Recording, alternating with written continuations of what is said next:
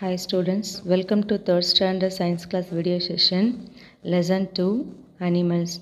In last class we learnt about animal that give other products. In this session we are going to learn about animal for guarding and companionship. In accordance with the living place, nature and use of animals, we can be classified animal into two category. They are domestic animal and wild animals.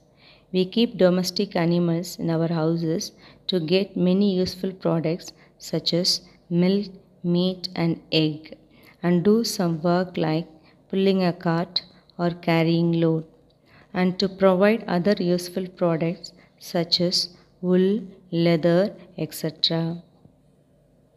Wild animals are the animals that live in forest. They are very dangerous animals, so we do not go near to them.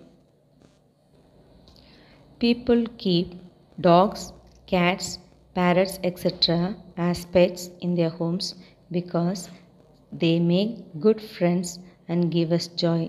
See this picture, a boy is playing with the dog. People also keep pet animals for guarding and companionship.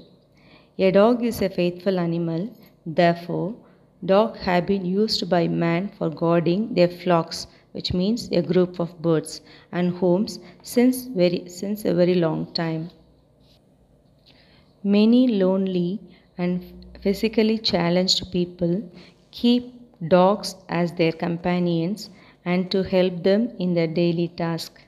Many dogs have saved the life of their master. See this picture. The dog helped a blind man to show the way while walking. Dogs are also trained to smell and search for thieves, bombs, and other things. Pets are part of our everyday life and part of our family. They provide us with companionship but also with emotional support, reduce our stress level, sense of loneliness, and help us to increase our social activities and add to a child's self esteem and positive emotional development. Dogs has good sense of smell. Dogs have the same five senses as we do smell, hearing, taste, touch, and sight. The sense of smell is very different between dogs and the people. It has been estimated that a dog's sense of smell is 1 lakh times more powerful than a human. Scientists think that the dog have about 2 billion olfactory receptor which help to smell the things.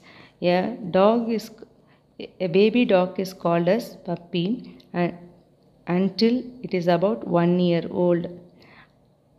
Thank you students. I hope you all understood this class clearly. Have a nice day.